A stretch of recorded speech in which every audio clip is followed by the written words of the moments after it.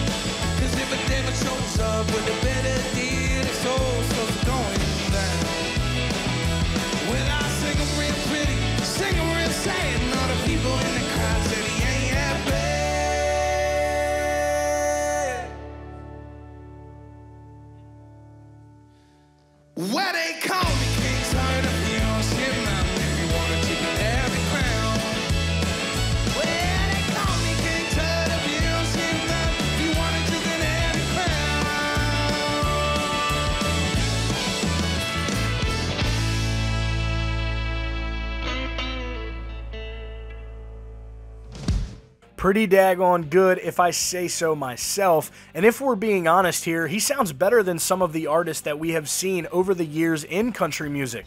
This kid has got it, and you can try to classify him as a hip hop artist, but that's not all he is. And categorizing him, well, it just isn't right. Post Malone and country sounds pretty damn good together. Guys, I would love to know your thoughts about this cover and the fact that Post is really talented in the country music genre. Please let us know about that down below in the comments. But that will be it for today's video. Make sure you hit the subscribe button and turn those notifications on as well so you never miss out on any breaking updates surrounding your favorite country artist and all the news coming right out of Music City. Y'all stay country.